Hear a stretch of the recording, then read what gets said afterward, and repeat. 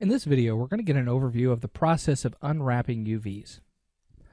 Alright, so whenever we create our models, there is a process called unwrapping the UVs. And what this is, is basically taking the 3D model and converting its UV coordinates to 2D space.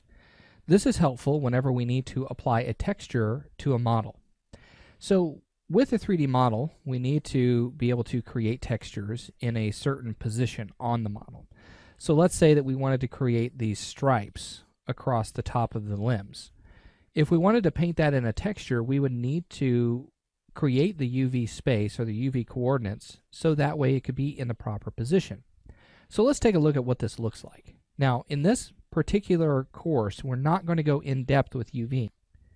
We're simply just going to get an overview, understand what it does, and how it works. So let's go ahead and select the model, and I'm going to go down to the Edit Poly modifier, and let's switch the modifiers that we're using to the UV coordinate modifiers, and we're going to use the Unwrap UVW modifier. Now once we apply this, you'll see that it goes above the Edit Poly, and I can open the UV editor. Now looking at this, you can see clearly that this is our model in 2D space. Now what we want to do is we want to flatten out certain parts of it into that 2D space. Now one problem that we have with this is if I were to paint, let's say, a smiley face on this polygon, it would actually show up through on this back polygon as well. Maybe that's not something that we would want. Let me show you what it actually looks like with a texture applied to this. So let's go ahead and go up to the drop down here and let's use this texture checker. It's going to apply these different colored boxes with letters and numbers on them. And you can see right here, this polygon is right here. So D4, you can see that. But it also shows through on this other side, and it shows up backwards. And that's not something that I really want on my textures. Another thing that you'll notice about the model is that the texture is actually stretching. And that's not going to look very good on our model. So what we need to do is we need to flatten out the UVs of the model to correspond properly onto the 3D model. So let's go ahead and select all of the polygons in the UVs and we're going to use a simple tool called flatten mapping.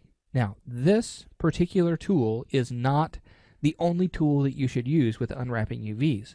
This is the fastest way, but it is not always the most accurate way of doing it. Now, like I said, we're not going to get in depth with all of the different tools that are in the UVW modifier. Uh, we're going to just experience how to flatten out the UVs to create quick textures because we are going to only really be using materials with this object. So what I'm going to do is I'm going to click on Flatten Mapping. I'm going to leave the default settings here. And what this is going to do is it's going to flatten out all of the UVs and it's going to look at the polygon angles of the model and it says if it's over 45 degrees it's going to create a seam at that point. So let's go ahead and hit OK. Now you might be wondering what is a seam? Anywhere that you see these green lines on the model that is a seam. That has been cut or split in the UV space and it's separated out. So click on this UV right here. Notice that it's the top of the model. We now have the UV uh, coordinates tied to the 3D model here and it's flattened out nice and neat. We can actually tell what those letters are you can see the boxes are pretty much the same size throughout the model. There's a little bit of um, you know a different direction for the letters, but that's okay. We don't really have to worry about that too much. And so now we have all of this going on in this 0 to 1 space. Now the 0 to 1 space, that's just use that's the term that we use to tell the UVs that they are in that default position. Now you can take UVs outside of that 0 to 1 space, and this would be considered uh, the 1 to 1 space here. Now that's not really important at this time. What we're worried about is just the UVs being flattened out and that we could actually create a texture and apply it and it would apply without any stretching on the 3D model. So now that we have that set, let's go ahead and close that down. And once the UVs have been applied to the model, we can do this to the other pieces as well. Um, let's go ahead and turn off the UV. So just click away from that. And let's select the next model here. And we could add it right above the edit poly. We'll do unwrap UVW.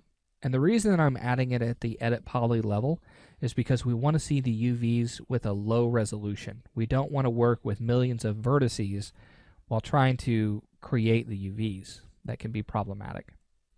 So we'll open the UV editor, and here you can see the same sort of thing. This looks pretty good, but there's still a lot of overlapping happening on this model. Let me show you what I mean by that. Let's go to the texture checker again. Look at all the stretching that's happening on the front here. And so what we would need to do is need to flatten that out a little bit better to where it's not um, stretching like that. The, the texture just won't show up properly. So let's select all of those. And then we'll go to mapping, flatten mapping, and then hit OK. You can see that that has now flattened out. You can see the sides of that mesh. Okay, that looks good. And everything is now properly fitting. We can see the actual numbers and letters on this. The colors look great. So let's go ahead and close that down. And we'll just simply keep that onto the model and we can apply that to the rest of these objects. Now the main objects that I'm really worried about is just the drone body itself. This is really going to be the only object that's going to have a texture applied to it. Um, we could do everything and there are going to be some materials that do have maps applied to them and it could um, it could affect how it is seen on the model itself. So if you want, you could just go ahead and add the unwrap UV and then just do a simple flatten mapping on all of the pieces. Okay, mapping, flatten mapping, hit OK. And click away from there, choose the next one. And then let's select everything again. Mapping, flatten mapping, hit OK. And it still puts it in that space, so it's fine. And this is a very, very rough way of adding UVs. Okay, so I wouldn't typically do it this way, but again, we're not going in detail with unwrapping.